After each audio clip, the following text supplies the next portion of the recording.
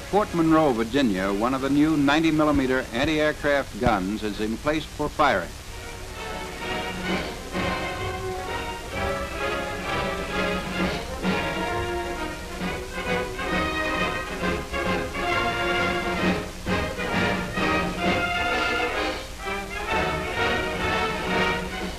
Note that the gun is mounted on a two-wheeled carriage.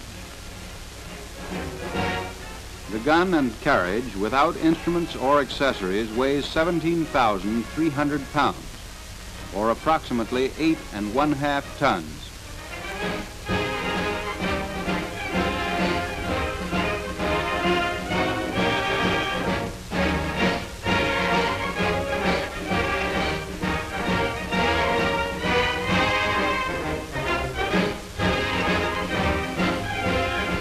This is the first time the crew has handled a gun.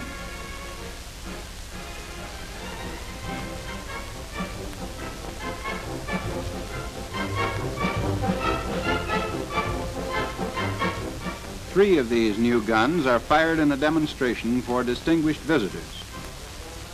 The gun is 50 calibers in length, measuring 186 and 15 one hundredths inches from the muzzle to the rear face of the breech ring.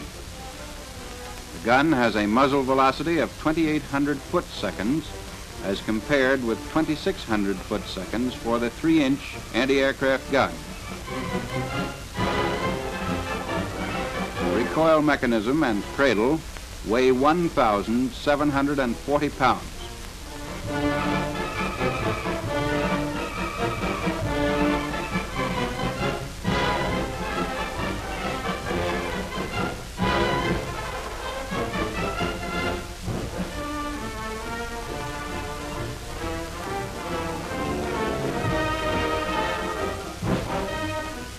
At zero degrees elevation, normal recoil is 48 inches. Maximum recoil is 50 inches at zero degrees elevation. Initial gas pressure is 830 pounds per square inch. Final gas pressure is 1,079 pounds per square inch.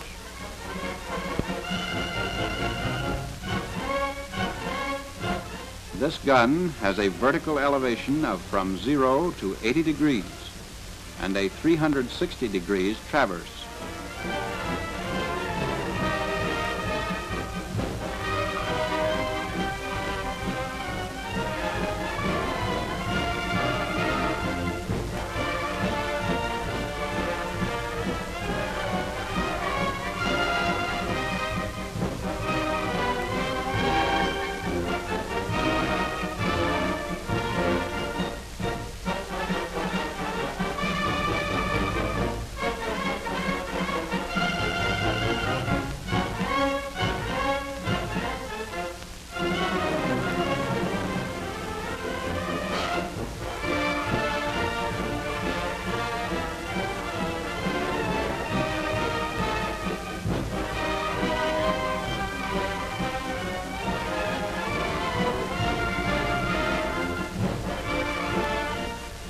Four three-inch guns are also fired during the demonstration.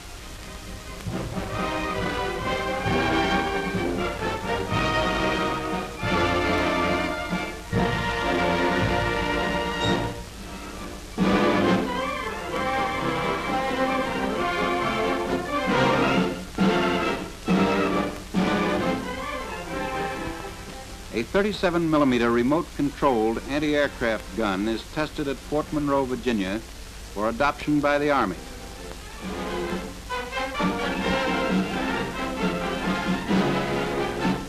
Traverse and elevation are controlled by the M5 director. The director seen here is of English design.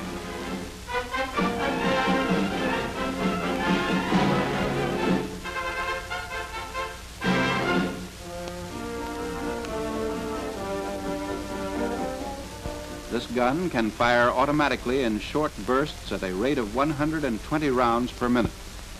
In this demonstration, the gun is fired by a foot trigger, one shot at a time. It has an effective range of 500 to 3,000 yards using high explosive ammunition and is designed for use against dive bombers and light bombardment airplanes. Gun is controlled by oil motors, which are in turn controlled electrically by the M5 director. Note the tracer flashes in the right side of the screen.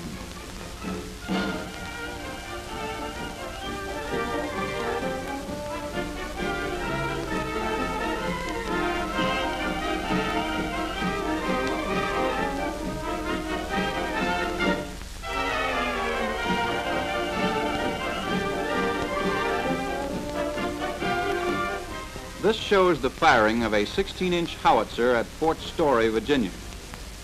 It is the first time this gun has been fired for several years. Several rounds are fired in practice.